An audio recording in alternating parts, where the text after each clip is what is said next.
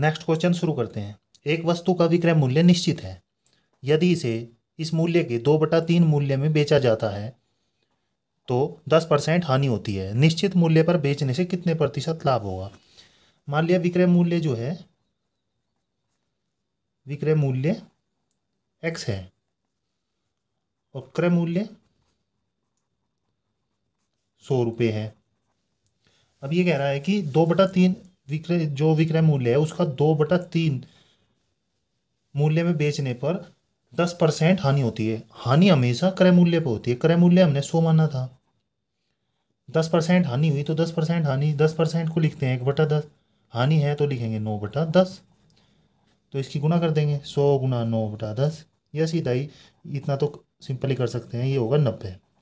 तो ये इसमें है एक्स का दो बटा तीन जो है ना, नब्बे के बराबर है। तो बस इसको कर लेंगे इसकी गुना। तो ये हो जाएगा दो एक्स बटे तीन बराबर नब्बे। तो एक्स बराबर कितना हो जाएगा? एक्स बराबर हो जाएगा नब्बे गुना तीन बटे दो। दो से कटेगा पैंतालीस पर। पैंतालीस गुना तीन हो जाएँगे एक सौ पैंतीस। तो एक सौ पैंतीस, एक सौ पैंतीस रुपये हो गया ये। या एक सौ पैंतीस परसेंट हो गया। लेकिन क्रय मूल्य तो सौ रुपये था और विक्रय मूल्य आया हमारा एक सौ पैंतीस। तो इसने पूछा है कि निश्चित मूल्य में बेचने में कितने प्रतिशत लाभ होगा? निश्चित मूल्य इसका एक सौ पैंतीस है और क्रय मूल्य था सो तो कितना होगा? पैंतीस परसेंट। यही पैंतीस परसेंट का लाभ होगा। यही आंसर है। नेक्स्ट क्वेश्चन देखते हैं। एक व्यक्ति ने एक घड़ी को सोलह सौ रुपये में खरीदा। इस घड़ी को बेचने पर उसे विक्रय मूल्य का बीस परसेंट लाभ मिला। घड़ी का विक्रय मूल्य क्या है? जो विक्रय मूल्य है वो हमने मान लिया सौ परसेंट है। कोई भी चीज़ सौ परसेंट ही होती है। अब इसने कहा कि विक्रय मूल्य इस घड़ी को बेचने में विक्रय मूल्य के बीस परसेंट का लाभ मिला। तो विक्रय मूल्य पे बीस परसेंट का मिला लाभ। तो क्रय मूल्य क्या हो जाएगा? क्रय मूल्य हो जाएगा सौ माइनस बीस बराबर अस्सी अस्सी परसेंट। लेकिन इसमें दिया गया है कि व्यक्ति ने इस घड़ी को सोलह सौ रुपये में खरीदा था। लेकिन हमारे अनुसार तो अस्सी परसेंट है। तो अस्सी परसेंट बराबर हो जाएगा सोलह सौ। तो कोई भी सौ परसेंट कितना होता है? सौ परसेंट बराबर होगा। सोलह सौ बटे अस्सी गुना सौ, ज़ीरो से ज़ीरो कट जाएगा और आठ से ये दो बार कटेगा और ये ज़ीरो, ये हो जाएगा बीस गुना सौ बराबर हो जाएगा दो हज़ार। तो ये विक्रय मूल्य पूछ रहा था, विक्रय मूल्य है। दो, सौ परसेंट जो हमारा विक्रय मूल्य था वो है दो हज़ार रुपये के बराबर। ये इसका आंसर है। नेक्स्ट क्वेश्चन देखते हैं। एक दुकानदार ने कोई वस्तु ढाई परसेंट हानि पर बेची। यदि वह इसे सौ रुपये अधिक में बेचता तो उसे साढ़े सात परसेंट लाभ होता। साढ़े बारह परसेंट लाभ कमाने के लिए इस वस्तु का विक्रय मूल्य क्या होगा तो इसमें क्या है कि इसने दिया है ढाई परसेंट हानि पर बेच दी। और अगर वो सौ रुपये अधिक में बेचता तो उसको साढ़े सात परसेंट का लाभ होता। तो इन दोनों का अंतर जो है सौ रुपये के बराबर है। तो इन दोनों का अंतर कितना हो जाएगा? दस परसेंट। ये ऐसे हो जाएगा कि मान लीजिए ज़ीरो है और इधर लाभ और इधर हानि। तो हानि है इधर ढाई परसेंट और लाभ है साढ़े सात परसेंट। तो इन दोनों का अंतर हो जाएगा दस परसेंट। तो इसने दिया दस परसेंट बराबर सौ रुपये तो सौ परसेंट कितना हो जाएगा? सौ परसेंट हो जाएगा सौ गुना सौ बटे दस। दस से ज़ीरो कटेगा तो आ जाएगा एक हज़ार रुपया। लेकिन क्वेश्चन में अगला पार्ट में पूछा हुआ है कि साढ़े बारह परसेंट लाभ कमाने के लिए विक्रय मूल्य क्या होगा? तो साढ़े बारह परसेंट लाभ। तो साढ़े बारह परसेंट को हम एक बटा आठ भी लिख सकते हैं। ये एक बटा आठ ऐसे लिखेंगे कि बारह दशमलव पाँच बटे सौ। इनको काटेंगे तो ये बार, इससे कट जाएगा एक बटा आठ बार, एक बटा आठ।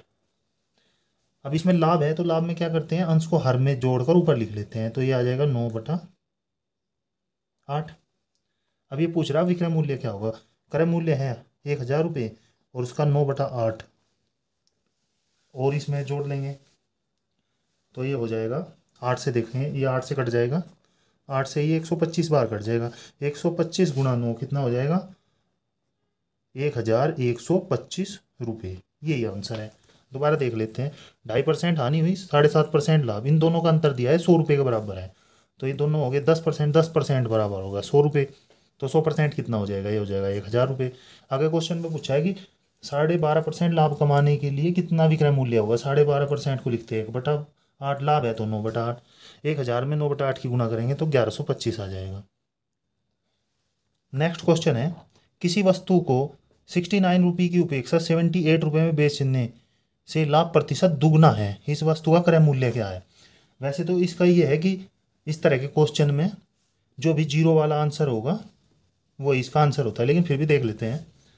सिक्सटी नाइन रुपये में बेचेगा और तो और अगर अठहत्तर रुपये में बेचता तो लाभ दुगना होता। तो इन दोनों का अंतर देख लेते हैं।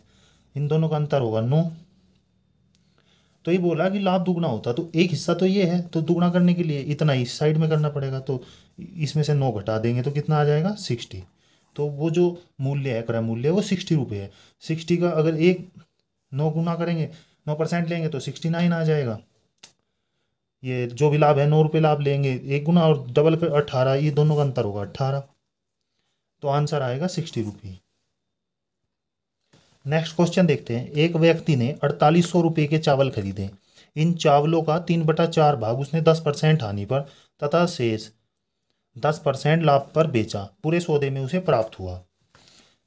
तो ये क्या है कि ये पूछ रहा कितना लाभ अथवा हानि हुई। तो इसने तीन, इसके तीन बटा चार भाग में उसे हानि हुई। तो जैसे इसके चार हिस्से कर लेंगे। एक, दो, तीन और चार। तो तीन हिस्सा, तीन बटा चार पे उसे दस परसेंट हानि हुई। दस परसेंट हानि प्रत्येक भाग में। और इस पे उसे दस परसेंट लाभ पे बेचा। तो टोटल कितनी हो जाएगी? तीन हिस्से हैं तो दस गुना तीन बराबर तीस परसेंट। हानि और लाभ कितना हो जाएगा? द, ये तो एक हिस्सा है तो ये हो जाएगा दस परसेंट। तो इन दोनों इन सब का अंतर देख लेंगे तो तीस परसेंट माइनस दस परसेंट बराबर हो जाएगा बीस परसेंट। तो बीस परसेंट इसे हानि हुई। लेकिन हिस्से तो चार हैं।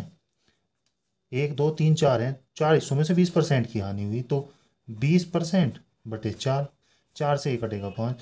तो टोटल पाँच परसेंट हानि हुई उसे। ये इसका आंसर है। नेक्स्ट क्वेश्चन देखेंगे तो ये आपको डाउट क्लियर हो जाएगा। एक व्यापारी ने कुल माल को का दो तिहाई पाँच परसेंट लाभ पर तथा शेष भाग दो परसेंट हानि पर बेच दिया। यदि कुल लाभ चार हज़ार रुपये हो तो कुल माल का क्रय मूल्य क्या होगा? उसने इसको तीन हिस्सों में बांट दिया। एक, दो और तीन। तो दो हिस्से जो थे, उन पे तो उसे पाँच परसेंट लाभ हुआ। और एक हिस्से पे इसको दो परसेंट हानि हुई।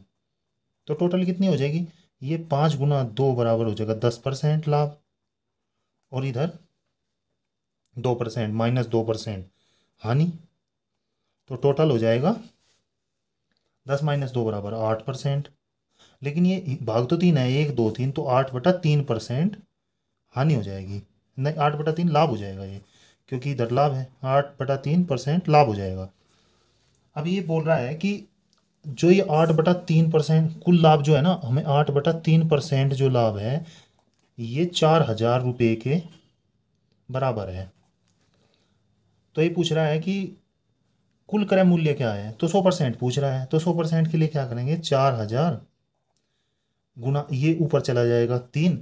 परसेंटेज में दिया हुआ है तो सौ की गुना कर लेंगे और बटे आठ। आठ से ही कट जाएगा। पाँच बार दो ज़ीरो तो इन सब की गुना कर लेंगे तो आ जाएगा पाँच तीन पंद्रह और चार ज़ीरो तो एक लाख पचास हज़ार रुपये का टोटल उसका माल था। ये इसका आंसर है। नेक्स्ट क्वेश्चन है। आशीष ने 120 कुर्सियाँ चार सौ चालीस रुपये प्रति कुर्सी की दर से खरीदी।